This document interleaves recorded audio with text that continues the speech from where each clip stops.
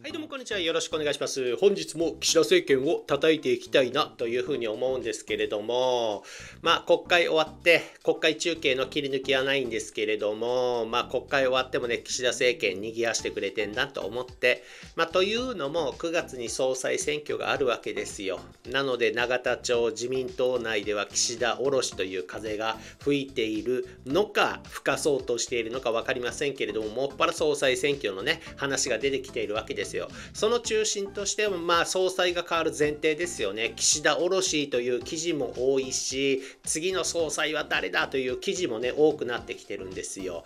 まあ選挙がね近くなるので候補者の予想とかさ、まあ、そういうのは出てきてもいいと思うんですがそれと同じぐらい岸田おろしですよね。もう岸田いいんじゃねみたいな記事が多いということは裏で何かしら働いてるんじゃないかというふうにも思ったりするんです。で9月に総裁選挙なのでおそらく9月の10日ぐらいに出る出ないというかねその辺がはっきりすると思うんですがなので8月いっぱいですかね。まあ岸田出るつもりでいろいろ動いていくんでしょうけれども、まあ、菅の時もそうでしたけど、8月末までですよね、パラリンピックが終わる直前ぐらいまでですか、意欲を見せてたんですけれども、結局推薦に20人が集まらなくて、挙げた手を下ろしたという経緯がありますよね。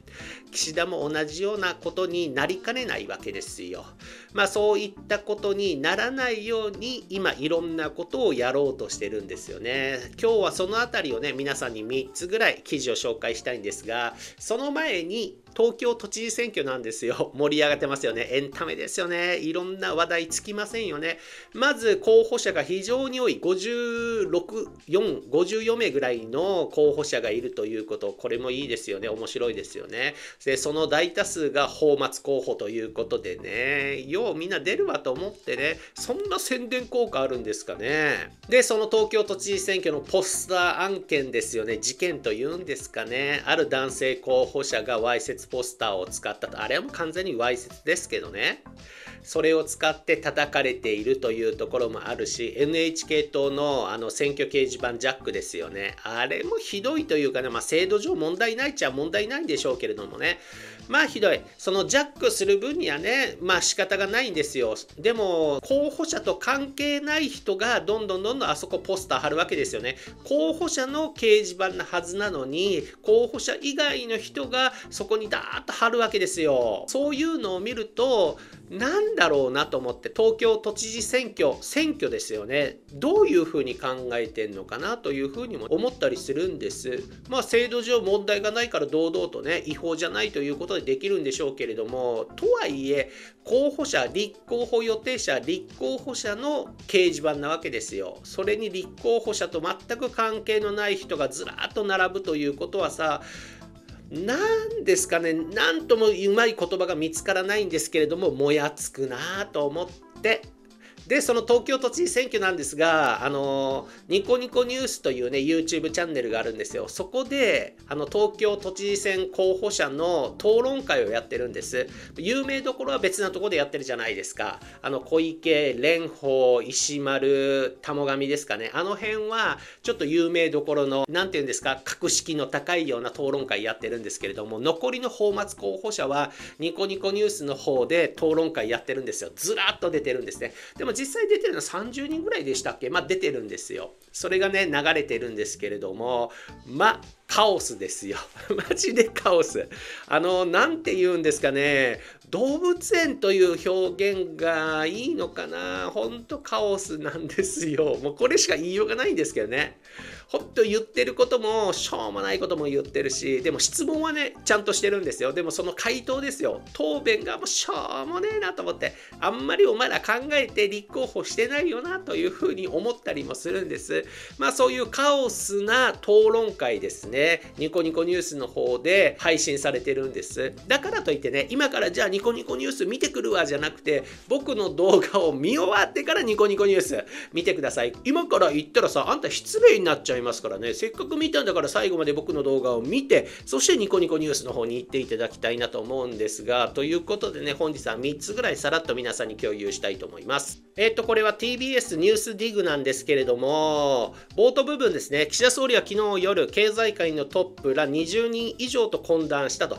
経済最優先との姿勢を強調して引き続き政権運営を行う意欲を示しましたということでね。日本を担う大企業たちですよね。そういうところに出向いて私を支えてくださいというふうにお願いしたと。まあその中にニトリホールディングスのニトリ会長とか楽天の三木谷社長など経済界のトップら20人余りと会談した懇談したということなんです。まあこういった活動をしながらまあこうやって記事になるわけですからね。ね記事になりつつ経済界の支えをもらっていこうとそして総裁選挙を狙っていこうということでしょうけれどもこれは時事通信ですね。岸田総理の退陣要求が噴出していると。これ前も言ったんですけど、結構菅が言ってるんです。あちこちで言ってるんですよ。何なんですかね、菅。菅1年しか内閣総理大臣やってませんよね。で、その1年で何をしたかったら逆に何もしなかった。できなかったんじゃなくて何もしなかったということですよ。まあ、クチンだけはね、頑張ったかもしれないですよね。ワクチンだけは頑張った。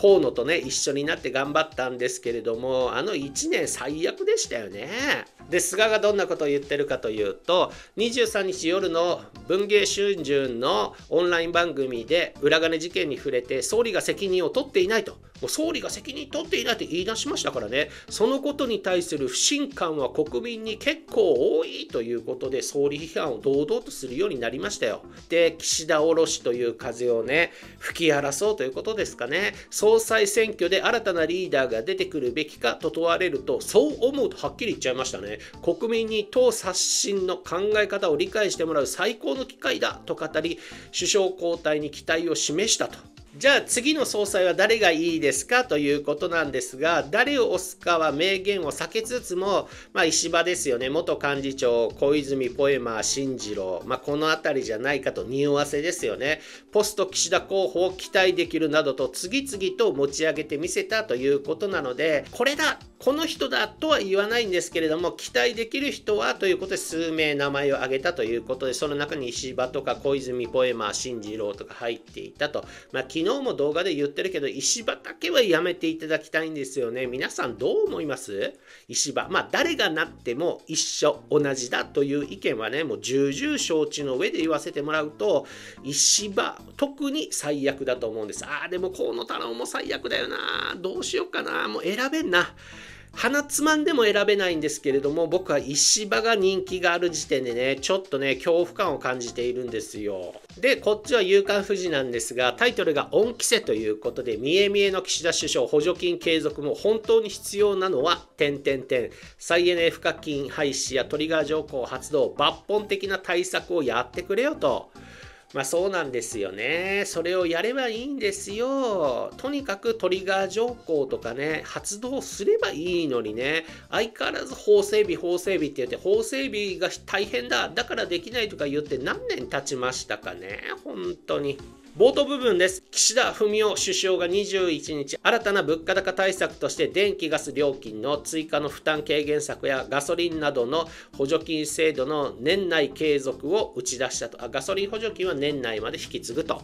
だが、電気料金に上乗せされる再生可能エネルギー発電促進賦課金、再エネ賦課金ですね、を維持して、ガソリン税を一部軽減するトリガー条項の発動もしないと。国民が支払ったお金を戻しているだけなのに恩着せ補助金の色合いが強いと、まあ、こういったことでね補助金自体は国民にとってはマイナスではなくてメリットが多いものですよね。メリットが多いんですけれどもやっぱり響いてないしこうやって記事にも書かれるようにタイミング的に言ったらもう確実にアピールですからね。人参作戦と取られてもいいと思うんですよ。